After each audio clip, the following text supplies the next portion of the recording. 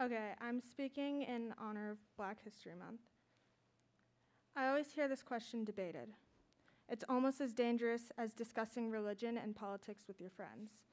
My grandmother tells me to never discuss religion or politics with your friends, especially if you have hopes of keeping that friend. Let's take a trip to the dining hall to ask this question. Look at the juice dispenser. Here's the question orange juice or apple juice? The problem with this deliberation is that it is restrictive. Somewhere in there, a lemonade person is standing there like, uh, I actually prefer lemonade. I'm that lemonade person. But the whole story isn't about what kind of juice I like. This talk is about how I stand in the middle. Well, actually, I've always been in the middle. I'm even the middle child. My mother is Caucasian, and my father is African American. There have always been questions of self identity floating around my mind. It began with my older sister, whose skin is several shades darker than mine. A series of questions about the differences between the Caucasian side of my family, on the one hand, and me and my sister on the other. These were memorable topics of conversation. My sister would ask our mother, Why am I darker than you? Why is my hair curly? Why don't I have freckles? Why are my eyes brown? My mom would typically reply, You're my mulatto babies. Still, there were questions to as to why we looked different from everyone else in the family. But then my brother was born. He wasn't colored, he wasn't like me and my sister. He had shimmering blue eyes and straight light brown hair. He had fair, he had fair, easily burnable, easily bruisable skin. It was skin that didn't compare to my sister's and mine. Skin that didn't tan, skin that had freckles sketched across his nose. Between me and my sister, I was stuck in the middle. Around that time, my sister continuously quoted Cheaper by the Dozen by calling me FedEx. It implied that I didn't look like any of my family members. My siblings had my mother's face, my sister had my father's nose, my father's eyes. Somehow, the most I inherited was my mother's hazel eyes. After my mom passed away when I was eight, my African American heritage was simply ignored by my white grandparents who adopted me and my siblings. I had so many questions about why I was deprived of my father. My sister knew him. She met him a handful of times be- before I was born. His abandonment left so many questions questions about who I was, what is my culture, who is my culture, where is my culture. This was something my grandparents simply couldn't answer, their culture consisted of making beef stroganoff and eating crepes coated with brown sugar, and I've only ever been exposed to their culture the culture of setting up mangers on Christmas and eating strawberry rhubarb crisp. There was never an attempt on my grandparents' part to encourage my expression of the other side of my identity. Instead, it was suppressed. As I'm sitting here writing this speech, I'm questioning if I am considered black enough to speak about my experience, because I am mixed. With my hazel eyes and lighter toned skin, I'm afraid of being looked at with questioning eyes by people who consider themselves more black than me. On the one hand, I completely understand the judgment. There are stereotypes as to how someone of color is supposed to act, how someone of color is supposed to talk. But the same goes for someone not of color. I don't fall within either stereotypes. I mix. So, why does someone else get to define my racial identity? Who gets to define the level of the color of my skin? My grandmother typically attempts to define my identity, labeling me as biracial constantly. My grandmother's statement is fair and correct. My grandmother views my desire to know my African American culture as idolization of my father, even though I have never spoken of this man in a positive light. But sitting of a sea of blonde haired, blue eyed people, I feel judgment creep in on me. I feel separation, and I feel waves of self doubt. I am lemonade. I almost feel trapped in confusion. Is this the way I talk? Is this the way I dress? Is this where I come from? These questions stay unanswered. These questions still float in the air. Given the way I look to others, I am objectified and then assigned to a group of people without my personal choice. I question where I fit in overall.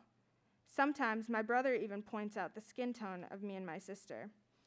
One day, he drew a family photo that excluded my sister, In it, I had exaggerated hair and I was the only one colored in. Why? I asked. Because you're brown, duh, he replied with a shrug. So, where do I fit in? I grew up in Lawrence, Massachusetts. Most people pronounce it Lawrence. To me, that's a name that doesn't amount to the integrity of the city. The integrity stands with the way I felt at home, no matter the setting. The integrity lies with the, within the clock tower that changes colors. It lies within the traffic lights and the invisible sidewalks and the vibrations of the cars you can feel through the roads. This integrity lives within the people now, the honesty of its inhabitants. The primary language is Spanish, 75% of the population. The diversity of Hispanics includes Mexicans, Dominicans, Guatemalans, Puerto Ricans, and so many more. The most fascinating aspect to me is the citizens of Lawrence and the way they carried their culture. They carried their passions and their love of music, dancing, food, and 3 a.m. parties. I was envious of their knowledge of their culture. Honestly, I don't even know what part of Africa my ancestors originate from. That information is unknown. But then there's my aunt, the one person who encouraged my black culture. In 2020, I got my hair cornrowed and box braided with ombre blue synthetic hair. It was the first time I had my hair done. She took me to a Haitian woman, and I sat in a chair for hours as my hair was pulled and tugged at. I felt black. I could wear my hair down without tangles. I could wrap it in a heavy bun atop my head. I could go outside in the rain without worrying about frizz. Best of all, I could wake up five minutes before Zoom class and look like I was awake for hours, without a lion's mane of hair flying into the air. Curly hair is harder to maintain. You can't brush through it with your fingers, and it doesn't fall as effortlessly as straight hair. Essentially, your hair determines your confidence, your hair determines your moods, your hair makes up who you are. My auntie sat in a store for hours reading the back of shampoo and conditioner bottles to learn what was good for my hair because my grandmother simply didn't put in much effort. My grandmother probably didn't know the right questions to ask, the right products to use, and she didn't try to learn. And yet, I am indebted to my grandparents for adopting me and my siblings, regardless of the lack of effort and ignorance of my African American heritage. Although I want to acknowledge the deep love that they have for me and that I have for them. In my Lawrence classrooms in an old brick school building, I sat at a table in one side of the room. Puerto Ricans and Dominicans spoke in Spanish back and forth. My skin color fit in. Our tones differed from each other, only slightly. I looked like them, but my hazel eyes and lack of speaking Spanish set me apart. I couldn't engage with the stories of their culture, of their habits of eating rice and beans with chicken. I think I ate rice once a month maximum at home. I felt like the darkness of my skin tone was strained and that my eyes grew lighter as the months passed. I was white at school. To cope with this, my older sister rejected our being African American and labeled us as Dominican to make excuses for the reason our skin color is brown, to better fit into our environment.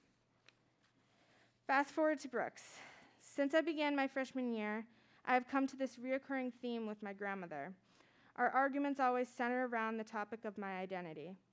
She constantly labels me as biracial. I haven't denied it.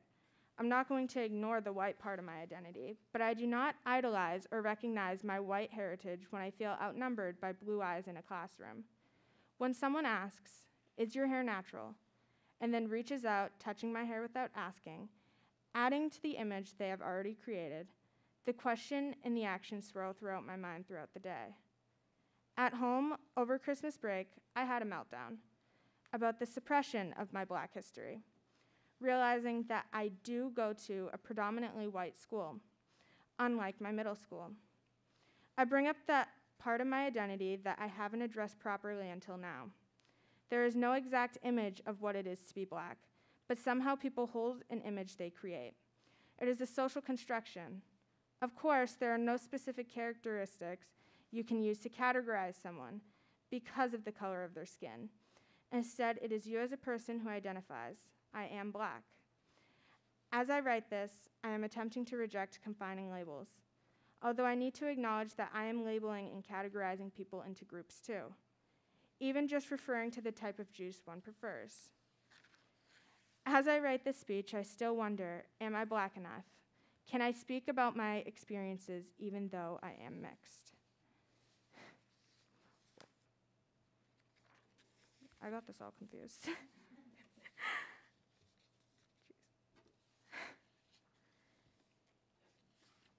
God.